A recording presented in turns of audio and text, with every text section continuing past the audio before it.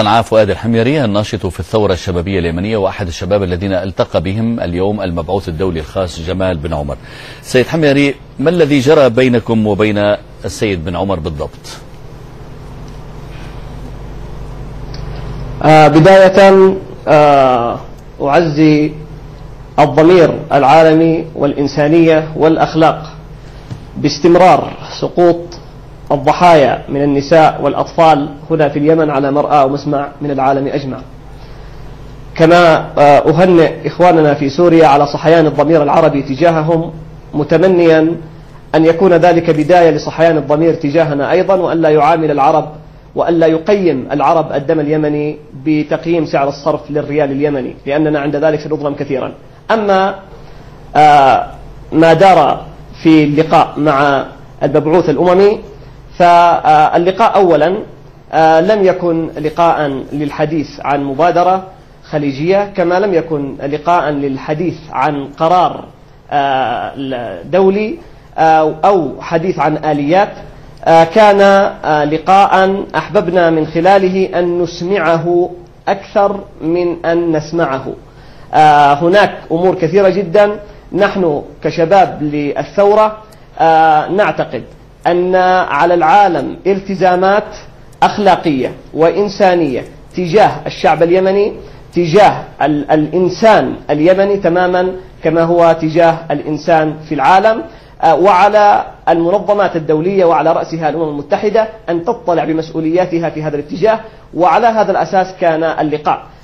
الحقيقة نحن في اللقاء تحدثنا بشفافية ووضوح وكانت هذه الشفافية والوضوح محل تقدير من الجميع والسيد المبعوث الأممي كان حريصا على هذه الشفافية والوضوح أيضا ولذلك طلب أن يكون اللقاء مغلقا. تحدثنا عن التأخر تأخر قدوم العالم إلى اليمن وخشيتنا من أن يكون هذا المجيء المتأخر دعوة أيضا جديدة للتأخير. وبينا هذا الأمر. تحدثنا عن الجرائم التي ترتكب ولا تزال في حق المسالمين وطالبنا بوضوح بتجريم علي صالح وعصابته وبسرعة إحالة ملفه من قبل مجلس الأمن إلى محكمة الجنايات الدولية وتجميد أرصدته وأرصدة عائلته وعصابته وبينا خطورة الحديث عن أي حصانة أو ضمانة في أي مشروع أممي أو قرار لما لذلك من معنى خطير هو دعوة علي صالح للاستمرار في عملية القتل والانتقام نعم. بحجة أنه في النهاية إن لم يحقق مصالحه سيعود نعم. إلى مبادرة أو قرار يضمن له ذلك الأمر. على ذكر المبادرات والأمم المتحدة سيد جمال بن عمر قال بأن الأمم المتحدة لا علاقة لها بالمبادرة الخليجية. كيف فهمتم مثل هذا الكلام مع أن مجلس الأمن عندما اتخذ قراره الخاص باليمن أشار إلى المبادرة الخليجية وأعرب عن دعمه له. عن دعمه لها عفوا.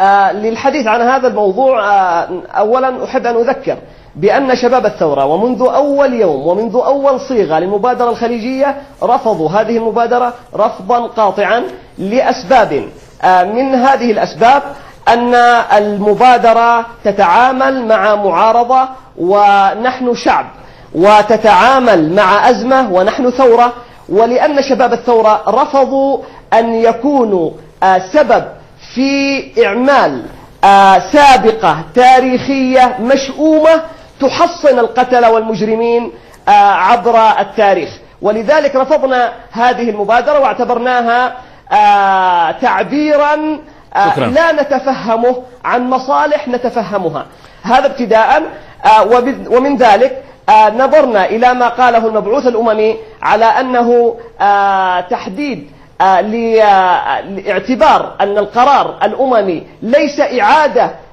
إلى مربع المبادرة بقدر ما هو نقلة إلى مربع جديد يسقط الحصانة والضمان عن المبادرة شكرا لك. ونحن لا ننظر الآن أصلا لا للمبادرة ولا للقرار ولكن ننظر إلى الشعب الذي أعلن ثورته شكرا لك. وسيمضي في إنجازها بإذن الله تعالى ونختم فقط بأن نذكر علي صالح بأنه لا مجال له الآن إلا أن يعمل عمل واحد هو أن آه، يسارع في تحلية مياه المجاري وتوسيع أنابيبها لأنه سيحتاج إليها قريبا بإذن الله.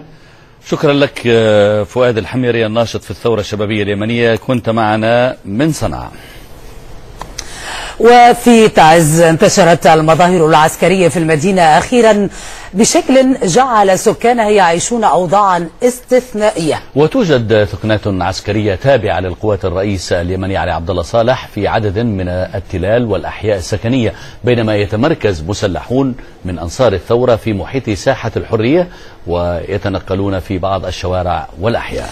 مراسلنا حمدي البكاري يستعرض الخارطة العسكرية في تعز ومآلات المواجهات في نهاية سلسلة تقارير ميدانية عن مدينة